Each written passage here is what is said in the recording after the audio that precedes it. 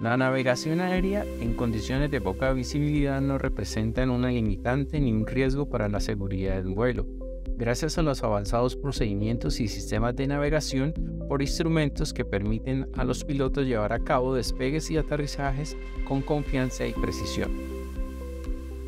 Mi nombre es Andrés Ruiz, inspector de seguridad operacional de los servicios de navegación aérea, específicamente al servicio de diseño de procedimientos de vuelo por instrumento.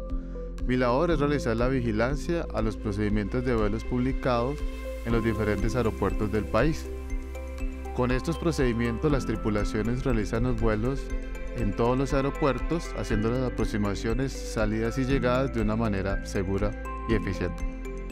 La tecnología de los aviones modernos y los protocolos establecidos por la OASI, Organización de Aviación Civil Internacional, permite a los pilotos volar de noche en medio de la niebla y otras situaciones climáticas desfavorables sin poner en peligro la seguridad de los pasajeros y la tripulación.